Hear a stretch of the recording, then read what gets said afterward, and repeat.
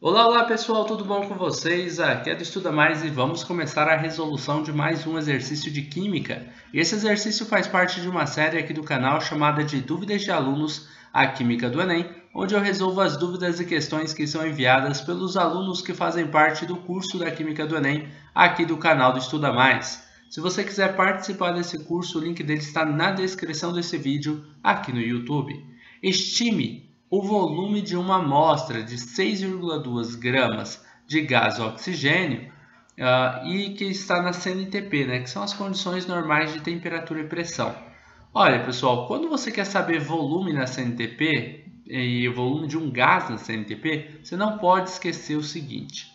Na CNTP, sempre um mol de qualquer gás ele vai ocupar um volume de 22,4 litros tá? Um mol de qualquer gás na CNTP vai ocupar um volume de 22,4 litros. Beleza, isso? Agora, com que gás a gente está trabalhando? Com gás oxigênio, é o O2. Beleza. Um mol de gás oxigênio na CNTP ele ocupa quanto de volume? 22,4 litros. Tá bom. Mas e aí? Quanto que eu tenho, quantos mols eu tenho desse oxigênio, ou qual a massa que eu tenho desse oxigênio. A gente tem essas informações? Não, mas a gente pode calcular e podemos calcular até que facilmente. Até que a gente tem uma massa da amostra que foi passado para a gente. Só que primeiro, antes de utilizar essa massa da amostra, eu vou fazer uma relação com a massa molar do gás oxigênio. O gás oxigênio ele é o O2. Como que você calcula a massa molar dele? Você pode se perguntar, mas o que é massa molar, professor? A massa molar é aquela massa que você tem de uma molécula para cada mol desta molécula. Então, ela é medida nas unidades de grama por mol. Você vai pegar o oxigênio lá da tabela periódica e vai ver qual que é a massa que ele tem. Ele tem uma massa de 16.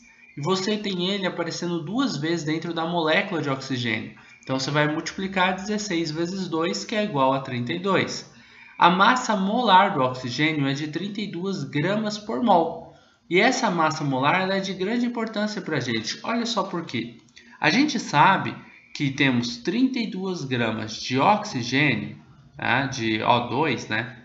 quando a gente tem um mol dele. Mas a questão ela não quer que a gente relacione a massa com o número de mols. Ela quer que a gente faça a relação entre a massa, de, só que a massa de 6,2 gramas, com o volume que a gente tem na CNTP. Então você vai fazer o seguinte, você vai substituir esse 1 mol aqui pelo volume que é ocupado quando você tem 1 mol de um gás. Que volume que é esse? 22,4 litros. Então você vai dizer o seguinte, 32 gramas de oxigênio é o que eu tenho em 1 mol, ou seja, é a massa que eu tenho que ocupa um volume de 22,4 litros. Aqui a gente está fazendo uma estequiometria massa volume, e a gente vai relacionar a massa com o volume. Agora a gente vai fazer o seguinte, e, primeiro, você tem esses 32 gramas de oxigênio? Não, você não tem. Você tem a massa que o exercício te passou. Ó, estime o volume de uma amostra que tem 6,2 gramas. Essa é a massa que você tem.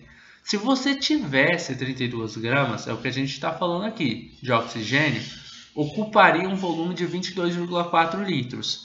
Mas a massa que você realmente tem não é essa de 32, é de 6,2 gramas. Então você vai dizer o seguinte, com 6,2 gramas de oxigênio, que é o que eu tenho, quanto que eu ocupo de volume? E pronto. Para você descobrir isso, é só fazer uma regrinha de 3. Então a gente vai fazer uma multiplicação cruzada, onde o x vai multiplicar pelo 32 e o 6,2 vai multiplicar pelo 22,4. Primeiro, x vezes 32 é igual a 6,2 multiplicado por 22,4. x vezes 32 é 32 multiplicado por x. 6,2 multiplicado por 22,4 vai ser igual a 138,88. Você vai pegar e dividir os dois lados por 32. Assim você vai tirar esse 32 aqui, ó, tira esse 32 aqui e vai deixar só o x isolado. E do outro lado você vai ter o 138,88 dividido por 32, o que vai dar 4,34. Mas 4,34 o quê? Bom, qual que era a unidade de x? Não era litros? x litros? Então, 4,34 litros de O2, porque a gente está trabalhando aqui com gás oxigênio. Belezinha, pessoal? Esses cálculos podem ser realizados para qualquer outros gases que estejam nas condições normais de temperatura e pressão. Eu espero realmente que vocês tenham aprendido, espero que vocês tenham gostado da resolução dessa questão de química. Se vocês gostaram desse vídeo, não esqueçam de deixar um like aqui e de compartilhar o link dessa videoaula em suas redes sociais para que seus amigos também possam conhecer o canal Estuda Mais. Assim vocês poderão estar ajudando seus amigos e com certeza estarão ajudando aqui no crescimento deste canal. Se inscrevam também em nosso canal no YouTube, ativem o sininho de notificações para que vocês possam ficar por dentro de todas as novidades do canal do Estuda Mais. Forte abraço, a gente vai se ver numa próxima videoaula. Tchau, tchau!